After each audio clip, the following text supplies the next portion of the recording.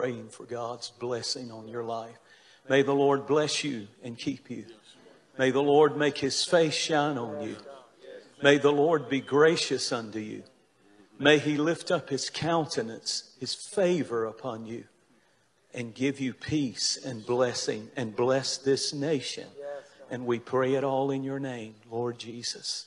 Amen. Amen. Well, President Trump, so.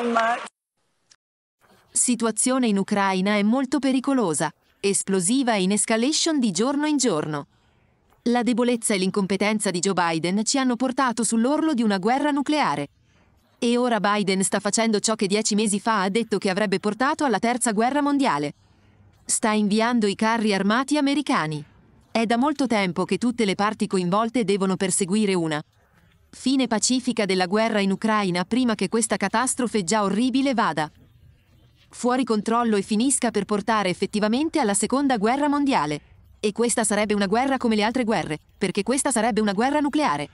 Come ho detto molte volte prima, l'invasione dell'Ucraina da parte della Russia non sarebbe mai accaduta se fossi stato alla Casa Bianca. Nemmeno pensabile, nemmeno una possibilità. Dobbiamo porre fine a questa ridicola guerra e chiedere la pace in Ucraina ora prima che peggiori. E che ci crediate o no, sarebbe facile da fare, sarebbe molto facile. situation in Ukraine is very dangerous, explosive, and escalating by the day. Joe Biden's weakness and incompetence has brought us to the brink of nuclear war, and now Biden is doing what he said 10 months ago would lead to World War III. He is sending in American tanks. It's far past the time for all parties involved to pursue a peaceful end to the war in Ukraine before this already horrific catastrophe spirals out of control and ends up leading, indeed, to World War III. And this would be a war like no other war because this would be a nuclear war. As I have said many times before, Russia's invasion of Ukraine would have never happened if I was in the White House. Not even thinkable, not even a possibility. We must end this ridiculous war and demand peace in Ukraine now before it gets worse. And believe it or not, it would be easy to do. It would be very easy to do.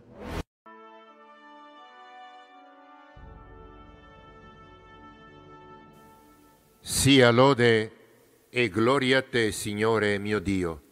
Prego cortesemente tutti i miei fratelli di intervenire questo venerdì, venerdì 22 novembre, alla stessa ora, insieme, per fare una potente crociata di preghiera contro la guerra. Difatti, Molti di noi avevano esultato dopo l'elezione di Trump perché costui aveva promesso di far cessare le guerre, invece purtroppo un satanista che non si rende conto che sta per morire per lasciare questo pianeta, che non si rende conto che dovrà rendere conto a Dio di quello che ha fatto, vuole far scoppiare una catastrofe e una terza guerra mondiale. Noi dobbiamo pregare affinché il male venga distrutto, ucciso, polverizzato dalla forza distruttiva dello Spirito Santo e dagli angeli vendicatori affinché noi possiamo avere un periodo di pace. Dobbiamo dunque pregare insieme. Decidete voi l'ora, per favore scrivetemi perché non è possibile che durante la preghiera siamo soltanto poche centinaia di persone a combattere pregando, perché quando 60 milioni di italiani sono a rischio, noi dobbiamo anche pregare e comandare agli alluvioni di fermare la loro azione distruttiva contro la nostra nazione. Dobbiamo, dobbiamo anche pregare per comandare alle montagne dei nostri problemi, delle nostre malattie, di essere distrutte e polverizzate nel nome potente e glorioso di Gesù, perché Gesù ci ha insegnato a pregare. Dobbiamo pregare come pregava nostro Signore, come pregava il salmista. Dobbiamo combattere la battaglia della fede. Vi aspetto dunque numerosi venerdì. Io vorrei organizzare la crociata alle 21.30 come al solito, ma se per voi non va bene come orario fatemi sapere cercate di venire tutti puntuali alla stessa ora. È importante lanciare allo stesso momento le frecce infuocate contro la malvagità del nemico. È importante, vi prego, il momento è fondamentale. Aspetto vostre notizie. In ogni caso resta la crociata per le 21.30 di venerdì 22 novembre. Grazie.